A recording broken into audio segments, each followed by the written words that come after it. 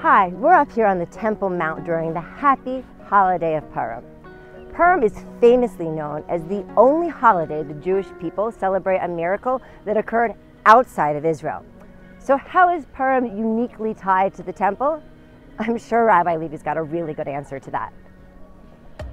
In Megillat Esther, we read that King Achashverosh made a feast lasting for six months, followed by a seven day feast for the inhabitants of Shushan.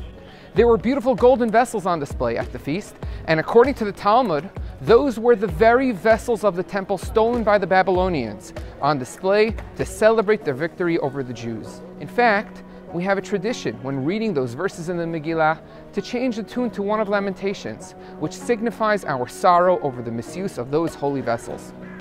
The Talmud further teaches that the primary function of this feast was to celebrate the complete victory over the Jews there was a prophecy said by Jeremiah that the Jews would return to Israel after 70 years of exile.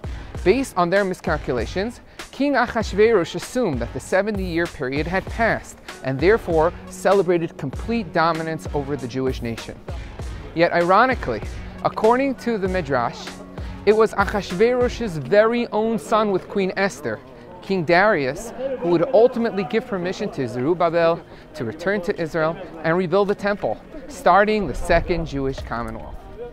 On behalf of myself, Dr. Melissa Jane Kronfeld, my partner, Rabbi Yehuda Levi, all of us up here on the Temple Mount, and all across Israel, we want to wish you a very Purim Sameach.